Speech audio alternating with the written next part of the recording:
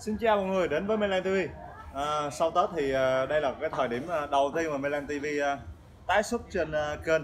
Thì Hôm nay chúng ta sẽ tiếp tục cái series là à, kích kích hoa cho cái giò lan phi điệp mọi người. À, Mấy cái clip lần trước là Melan TV à, kích xuống lá rồi không? Hôm nay là sẽ kích hoa ha. Mà để Melan TV lấy cái lấy cái giò lan xuống đó. Giờ đưa lên thì dễ, lấy xuống.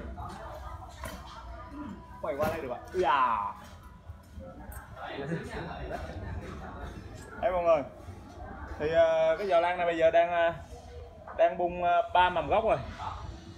Bung ba mầm gốc lại một cái kia nè. Còn nhưng mà cái thân hoa thì vẫn còn còn nguyên nha. Chưa có bung kia hay bung gì hết nha. Thì uh, à, Melan TV chọn một ngày nắng nhất để kích hoa.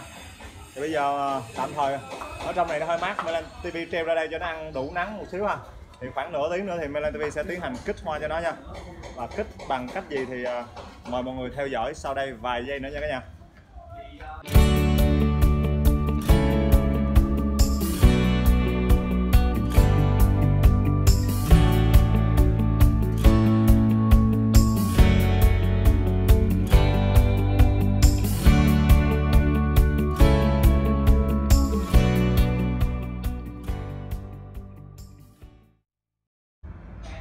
Rồi, bây giờ là sau khi ờ, khoảng ờ, 15 phút tăng cường cho nó một tí nắng không mọi người à, thì Mina TV sẽ lấy xuống và bắt đầu xử lý kích hoa cho em nó đây.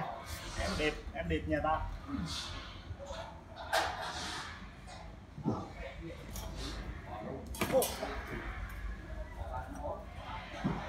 Nghĩa là tăng cường nắng dưới lưới cho mọi người chứ không phải là nắng trực tiếp đâu nha. Nắng dưới lưới thân khá là ấm nóng. Rồi rồi bây giờ thì à, treo đây. Và tiến hành làm thủ tục. Rồi bí kíp là nó nằm ở trong cái bình này mọi người. Bí kíp nào trong bình này nha mình sẽ bật mí sau khi có kết quả. À, giờ nhiệm vụ bây giờ là xịt ướp đẫm vào lan. Xịt càng ướp càng tốt ha. Ướt cho nó ướt mà nó không thể ướt hơn nữa mọi người. Mà đặc biệt là hai ướt ướt hai cái thân hoa ha. Thì cho nó đẫm luôn cho nó thấm vô gió lụa luôn.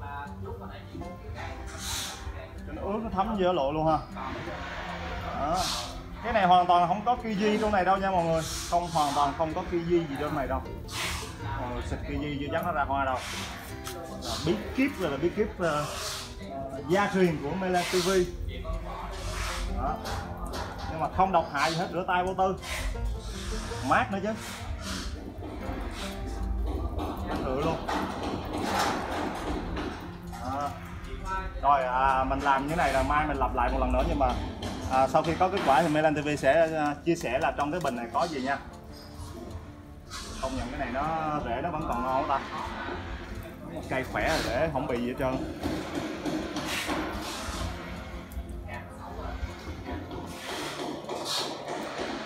Này đảm bảo là ngày mai làm lần nữa rồi nó nó xì ra liền mà nó biết xì xì ki hay xì hoa thôi. Hy vọng là nó ra hoa.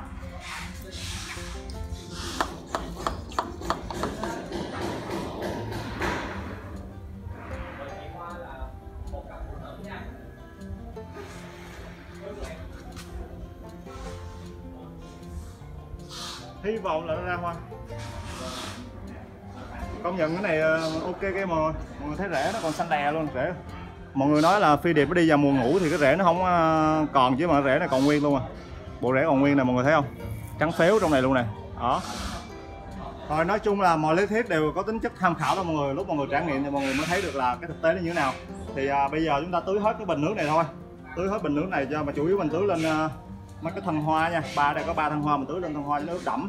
Rồi sau đó mình sẽ treo chỗ thoáng mát ha mình treo chỗ thoáng mát để cho nước nó nó ngấm vô trong á nó ngấm vô trong vỏ lụa cái bây giờ mình treo lên như cái chỗ à, nắng hồi nãy thì nó khô liền à. Nên bây giờ mình treo chỗ thoáng mát. Rồi sau đó mình treo chỗ thoáng mát khoảng 30 phút cho nước nó ngấm vô trong vỏ lụa rồi mình tiến hành mình treo lên lại chỗ cũ ha mọi người. Treo lại chỗ cũ và ngày mai mình lặp lại cái à, cái cái việc này. À, ngày mai mình lặp lại việc này y chang vậy. Đảm bảo cho mọi người là sau à, hai ba ngày là nó sẽ bung nụ thôi. Đó nó sẽ bung nụ thôi nó bung à, á lại nhầm nó bung thôi không biết nó bung nụ hay bung kia, mọi người hãy, hãy hãy đón xem và theo dõi nha. Theo dõi là trong cái này có cái gì nè. Theo dõi là kết quả của này như thế nào là mọi người. Nghịch thì chắc chắn là chúng ta sẽ sẽ à, sẽ ra kết quả một là thành công hai là thất bại thôi. Nhưng mà Melan TV đã làm nhiều lần thành công rồi thì chờ qua lần này coi nó như thế nào. Rồi hết nước mọi người. Bây giờ chúng ta sẽ treo chỗ này cho nó mát mát xíu nha. Rồi sau đó chúng ta sẽ treo lên chỗ kia. Mai chúng ta lặp lại. Y chang à, hẹn gặp lại mọi người clip lần sau để xem kết quả của nó như nào và để xem bí kíp trong cái bình này là cái gì nha cả nhà. Nhớ bấm đăng ký theo dõi Melan TV nha. Bật chuông thông báo nữa nha cả nhà ơi.